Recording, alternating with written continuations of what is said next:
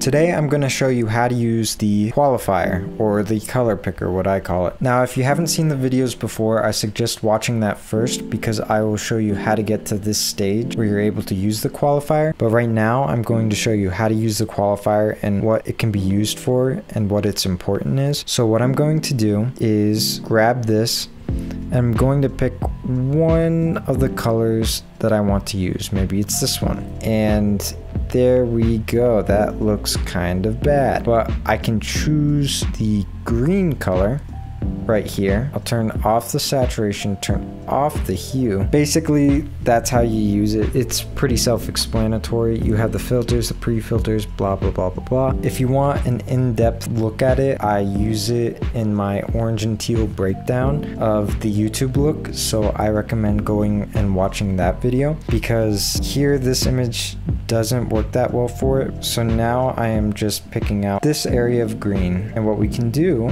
is invert it. This is how you invert it.